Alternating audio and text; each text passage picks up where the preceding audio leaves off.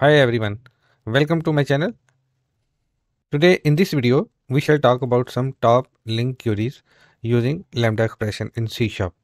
Before we dive into the exciting queries, let's take a moment to understand the core concept behind them.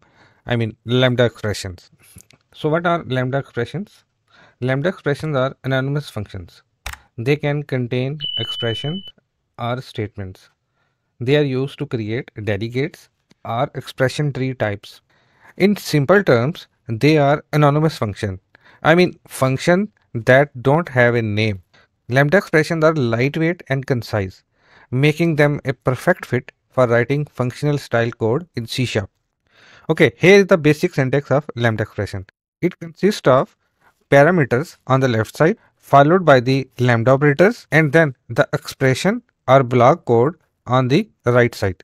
For example, uh, in this example, we see x by y and then lambda operator and then x plus y is a lambda expression that takes two parameters x and y and return their sum, right? Lambda expressions are commonly used in LINQ queries to filter, sort and transform collections. Remember, the biggest advantage of lambda expression is their conciseness.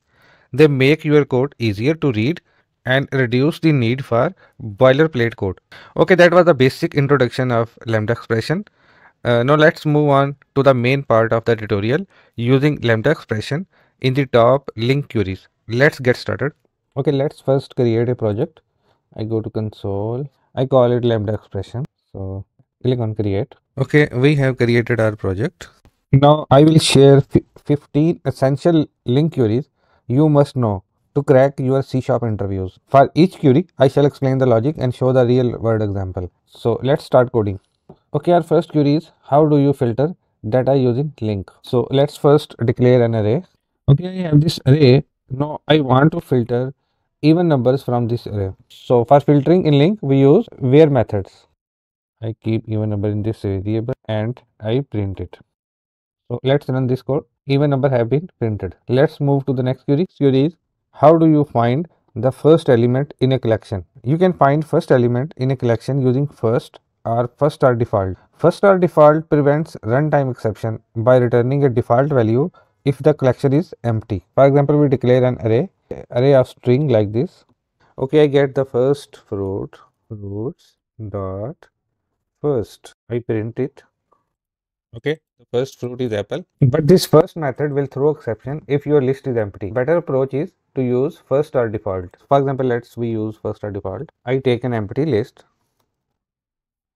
and see it throws exception or not. So uh, if my first is null, it will print none instead of throwing exception. So let's run it. Okay, the first fruit in the empty list is none. Okay, let's move to the next query. Okay, in this query, how do you find the maximum and minimum value in a collection? Let's declare an array. I take a variable max grade I say grades dot max and min grade grades dot min. And let's print both of these values. Okay uh, I run it. Okay the highest grade is 92 and lowest grade is 78 okay let's move to the next query. Okay in this query we will see how you group data using LINQ. for this query we need a product class. So let's add a product class in our project. Name it product.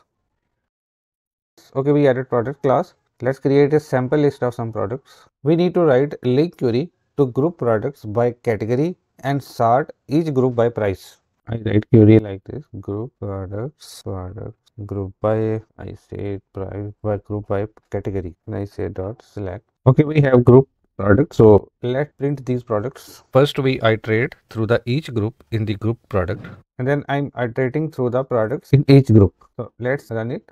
Here we see two groups based upon the category and sort each group by price. For example, for electronics, you see price of both product of electronic laptop and smartphone. And then for the next group, for category furniture, we see the price for product chair. Okay, let's see the next query. Okay, now we see how can we sort data in ascending or descending order. Okay, first we create a sample list of employee. Now sorting can be done with order by or order by descending.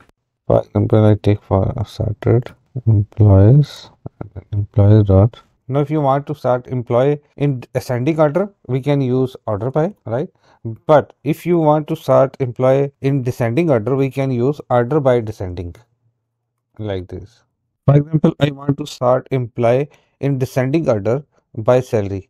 Now I print these sorted employees. I run it. Okay, so employee are sorted in descending order by salary. Maximum salary is on the top and lowest salary on the bottom. Okay, let's see the next example. Okay, now we see how do you perform a join in LINQ using lambda expression. Let's take a sample list of customers and sample list of orders.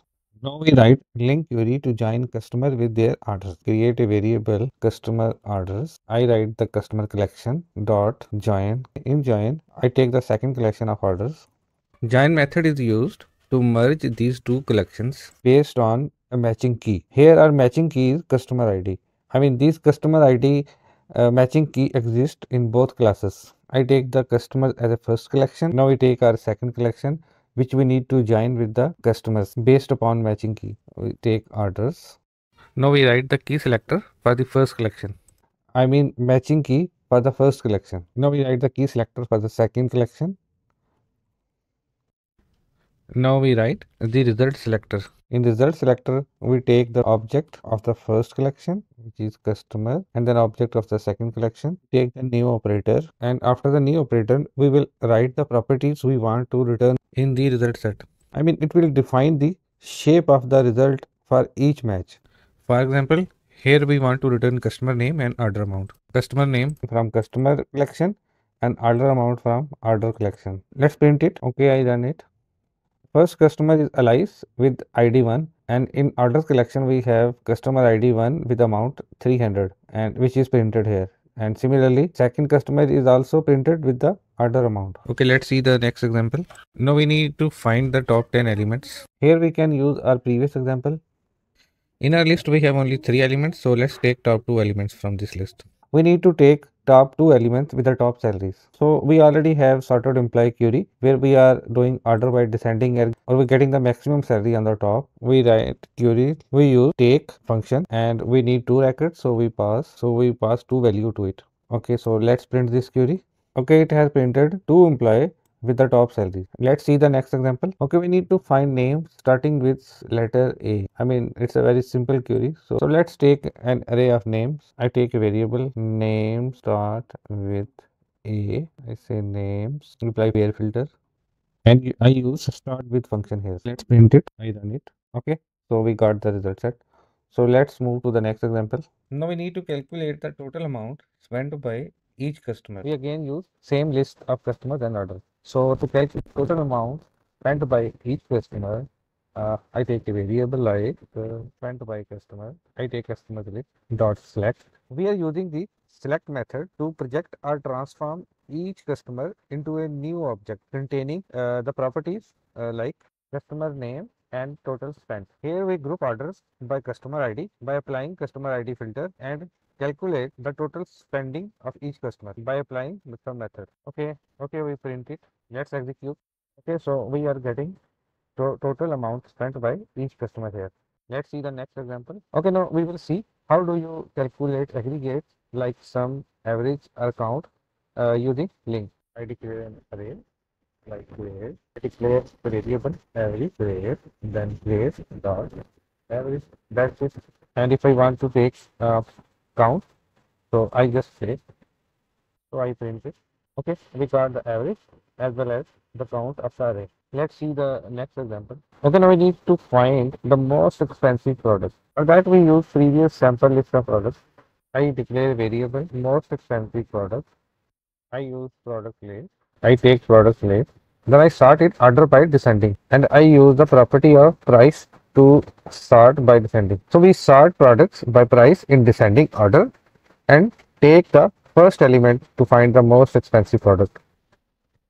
I print it to verify. I execute. Okay, the most expensive product is laptop with price 1200. Okay, let's see the next example. Okay, in this query, we need to get list of employee with their salaries. So we will use previous sample list of employee and I declare a variable like where employee salaries employee list dot select in inside select method we select some specific property like employee name and salary employee name and salary print it, execute. So we got the employees with their salary. Remember this query extract the name and salary properties from each employee object in the employees collection. And using the select method, it projects or transform each employee uh, object into a new anonymous object containing just their name and salary. Let's see the next query. Okay, in this query, we need to return an array with the square of all elements in the array. Okay, so we declare a sample array like where is numbers, where square numbers.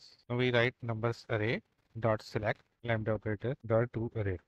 Numbers array is declared, so we make it numbers array. This query uses the select method to transform each element of the array by multiplying it with itself, effectively calculating the square of each number. The array method then converts the resulting sequence back into an array. I print, I print the square numbers and execute. We got array with square of all elements. Okay, let's see the next query. Okay, in this query, we need to find all distinct elements in a collection. So let's take a sample list.